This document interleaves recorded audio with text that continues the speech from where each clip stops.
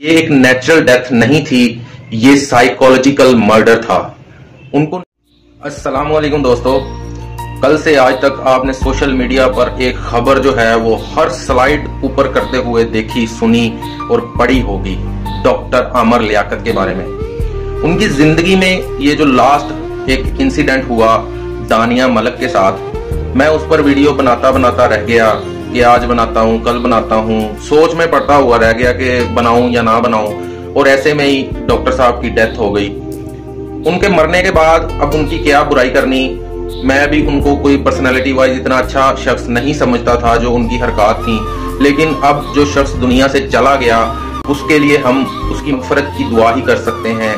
یہی کہہ سکتے ہیں کہ اللہ تعالیٰ ان کا اگلا سفر جو ہے وہ آسان کرے۔ لیکن ان کی موت کیسے ہوئی؟ یہ ایک نیچرل ڈیتھ نہیں تھی، یہ سائیکولوجیکل مرڈر تھا۔ ان کو نفسیاتی طور پر اتنا ٹورچر کیا گیا، اتنا پنچ کیا گیا، اور اس سب کی ذمہ دار دانیہ ملک تھی، ان کی تھرڈ وائف اس نے یہ پلان کیا تھا کہ اس امیر شخص کو اپنے پیار کے جال میں پھنسایا جائے، اس سے شادی کی جائے، اور اس سے کروڑوں روپے ہتھیار لیے جائیں۔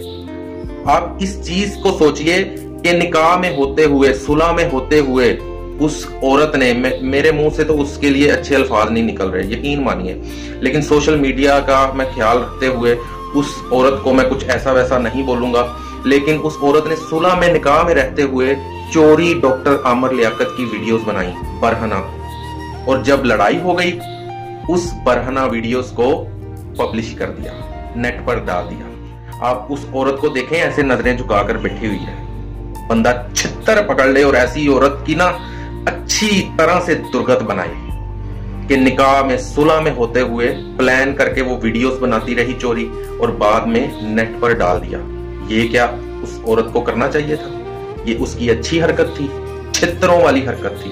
میری حکومت وقت سے یہ اپیل ہے کہ دانیہ ملک کو فوراں سے پہلے حراست میں لیا جائے اور اس کو انویسٹیگیٹ کیا جائے۔ کہ اس طرح کی عورتیں پہلے تو اپنا پلان کر کے مردوں کو اپنے پیار کے جال میں پھنساتی ہیں اور ان سے کروڑوں روپے ہتھیانے کے لیے اس طرح کے پروپوگنڈے بناتی ہیں۔ اگر دانیہ ملک کو سخت سے سخت سزا نہ دی گئی تو آنے والے وقت میں بہت ساری عورتیں اس طرح کے کام سر انجام دیں گی۔ لاکھ بار کہتا ہوں، کروڑ بار ماننے کے لیے یہ ریڈی ہوں کہ ڈاکٹر عامر لیاقت کی بہت ساری غلطیاں ہوں گی۔ کیا دانیہ ملک نے وہ ویڈیو بنا کر بہت اچھا کام کیا۔ کیا سبق دیا اس نے اس معاشرے کی عورتوں کو کہ اپنے بندوں کی ایسے برہنہ حالت میں ویڈیوز بناؤ؟ اور جب لڑائی ہو، جب طلاق ہو، وہ ویڈیوز جو ہیں وہ نیٹ پر لوگوں سے شیئر کر دو اور اپنے بندے کی عزت کا ستیہ ناس کر دو۔ یہ سبق دیا ہماری معاشرے کی عورتوں کو دانیہ ملک نے۔ اس کو کون پوچھے گا؟ ڈاکٹر عامر لیاقت نے تو اپنے کرموں کی سزا یا جزا اللہ سے لینی ہے، لیکن دنیا میں موجود یہ عورت دانیہ ملک جو اس بھیانک واقعے میں ملوث تھی، اس کو سزا کون دے گا؟ مجھے امید ہے کہ حکومت وقت اس پر ضرور ایکشن لے گی اور دانیہ ملک کو سخت سے سخت سزا دے گی۔ اللہ تعالیٰ ڈاکٹر عامر لیاقت کو جنت میں عالم کا فرمائے۔ دعاؤں میں یاد رکھنا اور اللہ کے ذکر کا واپس واد رکھنا۔ اللہ حافظ۔